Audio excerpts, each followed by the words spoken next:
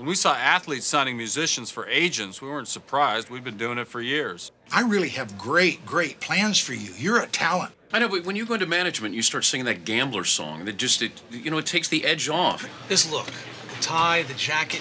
I can't sell this, man. You shouldn't be asking, what are we going to give Carl? You should be asking, what aren't we going to give Carl? They thought you were the pitcher.